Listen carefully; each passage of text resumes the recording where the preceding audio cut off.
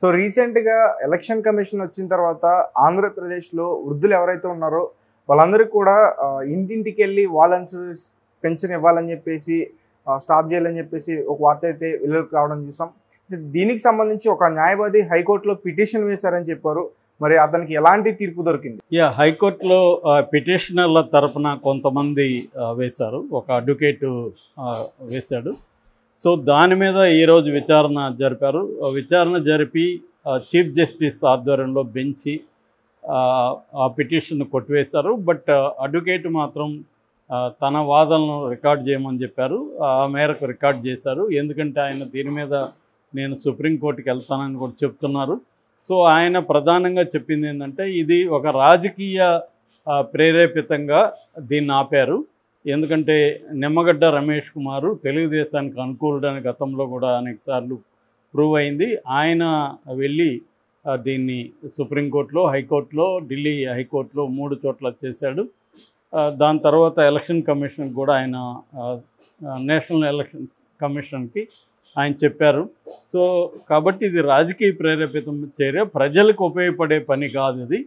So వాలంటీర్లు లేకపోవడం వల్ల పెన్షన్స్ కరెక్ట్గా వాళ్ళ ఇంటికి వెళ్ళి ఇచ్చే మెకానిజం పోయింది. దానివల్ల ఇబ్బందులు పడుతున్నారు.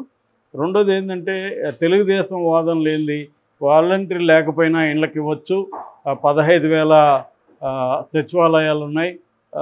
లక్షా లక్ష డెబ్బై వేల అంటే ఇతర సిబ్బందిని కలిపితే లక్ష డెబ్బై వేల మంది ఉన్నారు. వాళ్ళతో వెళ్ళి ఇవ్వచ్చు అంటే ఆయన ఏమన్నారంటే మరి అట్లాంటప్పుడు వాలంటీర్లు వేస్ట్ కదా. వాలంటీర్లు లేకుండానే ఇంటికి ఇచ్చే మెకానిజం ఉందని వీళ్ళు నమ్మితే చంద్రబాబు ఎందుకు వాలంటీర్ని నేను కంటిన్యూ చేస్తున్నాను అంటున్నాడు. అది మరి వృధా అయినట్టే కదా వీళ్ళ వీళ్ళ దీంట్లో. కాబట్టి అది కరెక్ట్ కాదు ఆ వాదన. ఎందుకంటే యాభై ఏళ్ళకి ఒక వాలంటీర్ ఉన్నాడు. అలాగా సిబ్బంది సరిపోరు. ఎందుకంటే సిబ్బందులకు వేరే డ్యూటీలు కూడా ఉంటాయి. ఇప్పుడైతే కొంతమందికి సచివాలయ సిబ్బందికి ఎలక్షన్ డ్యూటీలు కూడా ఉన్నాయి. అందువల్ల ఏ రకంగానూ సిబ్బంది సరిపోరు. అందుకని వాళ్ళు ఆ, సచివాలయం దగ్గరికి వచ్చి తీసుకోమని చెప్తున్నారు. కాబట్టి ఇది వృద్ధులకి వీళ్ళకందరికీ చాలా కష్టమవుతుంది అనేది వాదించారు. అయితే కోర్టు అన్ని రాష్ట్రాల్లో ఇలాగే జరుగుతాయి ఇక్కడెందుకు మీరు సపరేట్గా అంటే ఒక సిస్టమ్ అలవాటైంది నాలుగేళ్ళుగా జరుగుతుంది. సో నా ఐదేళ్ళు అయిపోయింది దాదాపు. ఇప్పుడు సడన్గా చేస్తే దానికి అలవాటైన పెద్దోళ్ళందరూ ఇబ్బందులు పడతారు.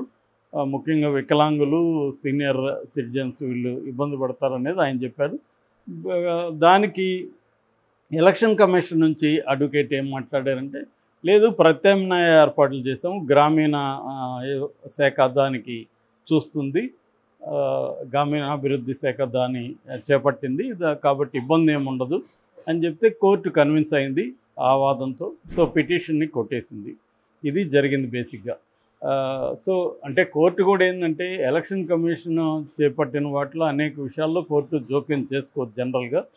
సో రెండోది ఏంటంటే కోర్టే ఇది ఆదేశించింది ఎలక్షన్ కమిషన్ చూడమని. కాబట్టి కోర్టు దీంట్లో జోక్యం చేసుకోవడం కష్టం కూడా. అయితే ఎలక్షన్ కమిషన్ కూడా ఏంటంటే ఈరోజు మార్నింగ్ నుంచి పెన్షన్లు ఇవ్వాలని అది కూడా రెండు రకాలుగా విభజించింది. ఒకటేమో బాగా ఏజ్డ్ పీపుల్ సిక్ పీపుల్ తర్వాత విడోస్ వికలాంగులు ఇలాంటి వాళ్ళకి ఇళ్ళ దగ్గరికి తీసుకొని వెళ్ళి ఇవ్వాలని మిగతా వాళ్ళు సచివాలయాల దగ్గర తీసుకోవాలనేది చెప్పారు. రెండవ అంశం గిరిజన ప్రాంతాల్లో చాలా దూరం ఉంటుంది కాబట్టి వాళ్ళకి ఎక్కడెక్కడ ఉంటారు కాబట్టి వాళ్ళకి దగ్గరికి తీసుకెళ్ళి కొన్ని ఆ, దగ్గరలో ఒక సెంటర్ పాయింట్లో పెట్టి వాళ్ళనేది లేదా మొబైల్ దీంట్లో తీసుకొని ఒక రోజు ఒక దగ్గర ఇంకొక రోజు అలా ప్లాన్ చేసుకోమని చెప్పారనమాట అయితే ఇవన్నీ బా పేపర్ మీద బాగానే ఉంటాయి కానీ ఒక్కసారిగా ఏంటంటే సడన్గా ఇది ముందుగా ప్రిపేర్ అవ్వలేదు. ముందుగా కనీసం ఒక పది రోజుల ముందు ఈ నిర్ణయం తీసుకొని మెకానిజమ్స్ని ప్రిపేర్ చేసి డబ్బులు కరెక్ట్గా ముందు రోజంతా రెడీగా చేసుకొని ఉంటే ఈ ఇంత ఇబ్బంది ఉండదు. సో ఇక్కడ ఈసీ కూడా అనాలోచితంగా చేసిందా మరి ఆ లాస్ట్ మినిట్లో ఎందుకు ఇలాంటి నిర్ణయం తీసుకునింది అనేది తెలియదు అదేదో చేసేది ముందు చేసి ఉంటే ఆల్టర్నేటివ్ మెకానిజాన్ని పెట్టుకోవడానికి టైం పట్టేది. ఎందుకంటే అనేక ప్రాక్టికల్ ఇష్యూస్ ఉన్నాయి. ఇప్పటి వరకు ఏంటంటే వాళ్ళ దగ్గర యాప్లు ఉన్నాయి వాలంటీర్స్ దగ్గర వీళ్ళ రికార్డ్స్ ఉన్నాయి అందరూ ఎవరెవరికి ఇస్తున్నాయి ఏంటి అనేది ప్ర యాభై ఏళ్ళకి ఒక వాలంటీర్ ఉంటారు కాబట్టి వాళ్ళకి అన్నీ తెలుసు అనమాట క్లియర్గా ఇప్పుడేంది సడన్గా సచివాలయ ఉద్యోగులకి తీసుకు వీళ్ళు వెళ్ళాలి వాళ్ళు వచ్చినా కూడా వాళ్ళు వచ్చే పరిస్థితి లేదు. వీళ్ళు వెళ్ళాలి వీళ్ళు వెళ్ళినప్పుడు ఏమవుతుంది? అందరికీ ఒకసారి ఒకేసారి వెళ్తారు. ఇదేంటంటే యాభై ఏళ్ళకి యాభై ఏళ్ళకి కాబట్టి వరుసగా చేసుకుంటూ వెళ్ళిపోతారు. నీట్గా ఉంటుంది. ఇది ఇప్పుడు అందరూ ఒక వెయ్యి రెండు వేల ఇండ్లు ఉంటాయి. ఆ రెండు వేలలో ఒక ఐదు వందల మంది ఒకసారిగా వెళ్తారు ఆడికి. లేదా వెయ్యి మంది ఒకసారికి వెళ్తారు. సో అప్పుడు వాళ్ళందరికీ ఆధార్ చెక్ చేసుకోవాలి. వాళ్ళకి అందరికి ఫ్రెష్గా వాళ్ళ దగ్గర ఇంతకుముందు డేటా వీళ్ళ దగ్గర నుంచి తీసుకున్నారు కానీ దాన్ని చెక్కింగ్ చేసుకోవాలి కదా. ఎవరు వస్తున్నారు? వాళ్ళేనా కాదా? వాళ్ళకి అర్హత ఉందా పెన్షన్కి? ఎందుకంటే పెన్షన్కి రకరకాల కారణాల వల్ల అందరికీ లేదు కదా. చాలామందికి పెన్షన్ ఇవ్వరు ఏదైనా కూడా. సో అవన్నీ చెక్ చేయాలి కదా. సో ఇప్పుడు అర్హులు కాని వాళ్ళు కూడా అక్కడికి వెళ్ళొచ్చు. సో ఈ ప్రాబ్లమ్స్ ఉంటూ ఉంటాయి. ఐరిస్ చెక్ చేయాలి ఆధార్ బేస్డ్ బయోమెట్రిక్ చెక్ చేయాలి. ఇవన్నీ ఇబ్బందులు ఉన్నాయి సో దానివల్ల అదొకటి. రెండోది ఏంటంటే డబ్బులు ఇది మా ఫైనాన్షియల్ ఇయర్ ఎండ్ కాబట్టి అన్ని చోట్ల కూడా ప్రైవేట్ కంపెనీలు ఎక్కువ భాగం శాలరీ లేట్గానే ఇస్తారు. సో దానివల్ల కూడా డబ్బులు బ్యాంక్ నుంచి లేట్ అవ్వడం అంటే బ్యాంక్ ఖాతాలో మాత్రం నైట్ లోపల వేసారని చెప్తున్నారు. కానీ వీళ్ళు అక్కడ తీసుకోవడానికి బ్యాంకుల్లో కూడా ఒకసారిగా ప్రెజర్ పడుతుంది కదా. తీసుకొని రావడానికి అవ్వలేదు. సో మార్నింగ్ విజువల్స్ చూస్తే అనేక టీవీ ఛానల్లో లైవ్లు పెట్టారు. చాలా దారుణంగా ఉంది పరిస్థితి. చాలా ముసలి వాళ్ళు వాళ్ళందరూ పాపం నడవలేని వాళ్ళు భయంకరమైన ఎండలో వచ్చి వచ్చినాక వాళ్ళని రేపు రమ్మంటున్నారు కొంతమందిని కొంతమందినేమో ఈవినింగ్ రమ్మంటున్నారు ఇంకా మేము డబ్బులు తీసుకురాలేదని చెప్తున్నారు. దీనివల్ల హృదయ విదారకమైన కథలన్నీ అక్కడ మనకి వస్తున్నాయి బయటికి. దీన్ని వైసీపీ బ్రహ్మాండంగా ఉపయోగించుకొని తెలుగుదేశం క్యాంటీగా క్యాంపెయిన్ చేయడానికి కావాలనే ఈ వృద్ధుల్ని మంచాల మీద తీసుకురావడం కెమెరాలకి కెమెరాలకు చూపించడం వాళ్ళ దగ్గర చంద్రబాబు క్యాంటీగా మాట్లాడించడం ఆ విజువల్స్ వాళ్ళ సోషల్ మీడియాలో వాళ్ళ మెయిన్ మీడియాలో సాక్షి మీడియాలో పెట్టడం ఇవన్నీ చేస్తున్నారు వృద్ధుల దగ్గర మాట్లాడిస్తున్నారు. అంటే ఇది పొలిటికల్గా క్లియర్గా చంద్రబాబు చేయించాడు అనేది సాక్షాత్తు జగనే చెప్పాడు. అందులో వాస్తవం కూడా ఉంది. ఖచ్చితంగా అదైతే రమేష్ కుమార్ చేసిందే. చంద్రబాబు అండ్ అచ్చెంనాయుడు వీళ్ళు కూడా వాలంటీర్ వ్యవస్థ ఉండొద్దు అనేది వాళ్ళు మాట్లాడినారు. వాళ్ళు మాట్లాడిన దాంట్లో వాళ్ళకి వాళ్ళ పాయింట్ ఆఫ్ వ్యూలో రీజన్ ఉంది. ఎందుకంటే ఖచ్చితంగా వాలంటీర్లు అందరూ కూడా వైసీపీకి కార్యకర్తలాగే పనిచేస్తారు కాబట్టి వాళ్ళు అది వద్దనడంలో తప్పు లేదు.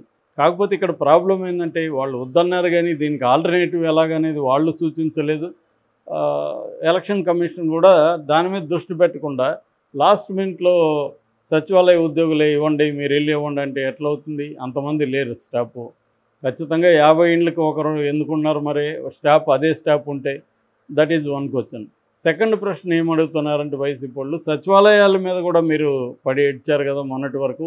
ఇప్పుడేమో మరి సచివాలయాలు ఇవ్వండి అని చంద్రబాబు ఎలా లెటర్ రాస్తాడు అనేది వాళ్ళు అడుగుతున్నారు. ఏదేమైనా ఈ రెండు పార్టీలు కూడా పొలిటికల్ గెయిన్ కోసమే వాలంటరీ ఇష్యూని కానీ పెన్షన్ ఇష్యూని కానీ తీసుకుంటున్నాయి. కానీ సఫర్ అవుతుండేది మాత్రం వృద్ధులు వికలాంగులు. చాలామంది వికలాంగులకి వాళ్ళకి ఏ రకమైన అసిస్టెన్స్ లేదు.